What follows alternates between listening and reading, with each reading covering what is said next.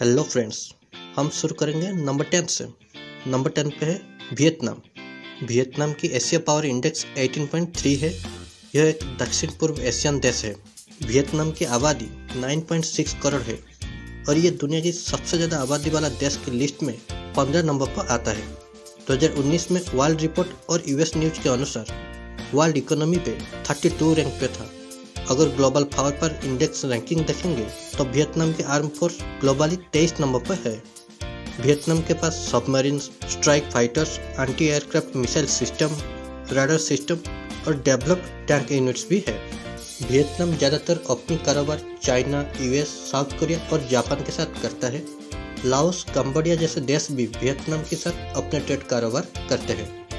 Number nine, Malaysia. Malaysia की Asia power index है 18.3 पिछले रैंकिंग की तुलना में मलेशिया की एक रैंकिंग नीचे हुआ है, लेकिन कल्चरल इन्फ्लुएंस कैटेगरी में मलेशिया अच्छा परफॉर्मेंस किया है और एक बेहतरीन ट्रैवल डेस्टिनेशन के हिसाब से बहुत पॉपुलर है मलेशिया। तीन करोड़ से ऊपर की आबादी है मलेशिया में। 2020 की ग्लोबल पीस इंडेक्स रैंकिंग में मलेशिया 20 नंबर पर था। मलेशिया की स्लोगन है, मलेशिया ट्रूली एशिया इस स्लोगन से पता चलता है कि मलेशिया पूरे एशिया में कल्चरली कितने पावरफुल है। मलेशिया ज़्यादातर अपनी ट्रेड कारोबार के लिए चाइना, सिंगापुर और साउथ कोरिया के साथ करता है। Number eight, Thailand. थाईलैंड की एशिया पावर इंडेक्स 19.2 है। यह एक साउथ ईस्ट एशियन कंट्री है। सुंदर बीचेस के लिए थाईलैंड पूरे दुनिया में फ़ेमस है। यह देश की इकोनॉमी साउथ ईस्ट एशिया में सेकंड लार्जेस्ट इकोनॉमी है। सात करोड़ के आसपास आबादी है थाईलैंड में। 2020 में थाईलैंड के पास तीन दशमलव छह लाख एक्टिव आर्मी फोर्सेस थे और दो लाख रिज़र्व पर्सन थे। थाईलैंड की इकोनॉमिक कैपेबिलिटी और कल्चरल इन्फ्लुएंस बड़ा है।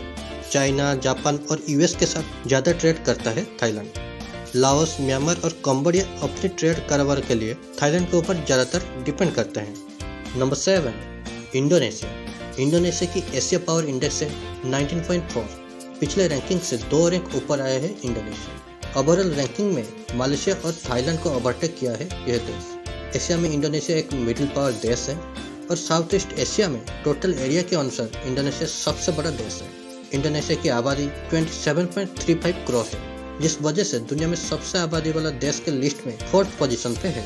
अगर हम इकोनॉमी के बारे में बात करेंगे तो परचेजिंग पावर पैरिट के अनुसार ये दुनिया की सबसे बड़े इकोनॉमी के लिस्ट में टेंथ पोजीशन पे है। चाइना, सिंगापुर और जापान के साथ ज़्यादातर इंटरनेशनल ट्रेड करता है Indonesia. Number six Singapore. Singapore की एशिया पावर इंडेक्स 26.2 है। एक ऐसा शहर है जो कि खुद एक राज्य और देश भी है। मात्र 60 लाख लोगों की ये छोटी सी देश अपनी सेफ्टी एंड सिक्योरिटी के मामले में काफ़ी आगे है। अच्छी जीडीपी ग्रोथ और लो अनएम्प्लॉयमेंट रेट इस देश को दुनिया के अमीर देश के लिस्ट में शामिल करता है। दुनिया में सबसे अमीर देश के लिस्ट में टेंथ पोजीशन पर आता है सिंगापुर। सिंगापुर की मैन्युफैक्चरिंग सेक्टर देश की टोटल जीडीपी में 20 से 25 प्रतिशत कंट्रीब्यूट करता है। चाइना, मलेशिया यूएस और ताइवान के साथ ज़्यादातर इंटरनेशनल कारोबार करता है। नंबर फाइव साउथ कोरिया यह देश की एशिया पावर इंडेक्स 30 है। यह एक ईस्ट एशियन कंट्री है 1945 में जापान से कोरिया इंडिपेंडेंट होने के बाद साउथ कोरिया एक अलग नया देश बना था। पाँच करोड़ से ज़्यादा आबादी वाला देश है साउथ कोरिया एक हाईटेक बेस्ड इकोनॉमिक देश है, जो कि वर्ल्ड में ओवरऑल इकोनॉमी में इलेवन पोजीशन पर है। सैमसंग हुंडई और किया जैसे ब्रांड्स की हेडक्वार्टर्स साउथ कोरिया में ही है। United Nations G twenty world trade organisation और भी बहुत सारे इंटरनेशनल ऑर्गेनाइजेशन के मेंबर है यह देश। चाइना यूएस और जापान के साथ साउथ कोरिया ज़्यादातर इंटरनेशनल ट्रेड करता है। Number four Russia. रशिया की एशिया पावर इंडेक्स 33 है। वर्ल्ड मैप्स के अनुसार रशिया के 75 परसेंट एरिया एशिया में है और 25 परसेंट एरिया यूरोप में है।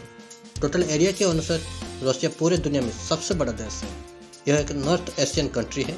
रशिया की इकोनॉमी पूरे दुनिया में सबसे बड़ा इकोनॉमी के लिस्ट में आता है, क्योंकि रशिया के पास नेचुरल रिसोर्सेस भरा पड़ा है।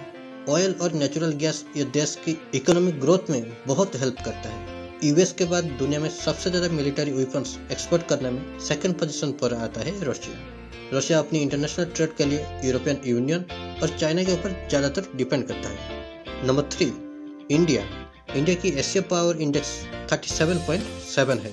यह एक साउथ एशियन देश है, जो पूरे वर्ल्ड में सबसे बड़ा डेमोक्रेटिक कंट्री है, एक सौ अड़तीस करोड़ आबादी के साथ। 2020 में परचेजिंग पावर पैरिटी के अनुसार इंडिया दुनिया में थर्ड लार्जेस्ट था। इंडिया दुनिया में सबसे तेज़ी से इकोनॉमिक ग्रो होने वाला देश के लिस्ट में आता है।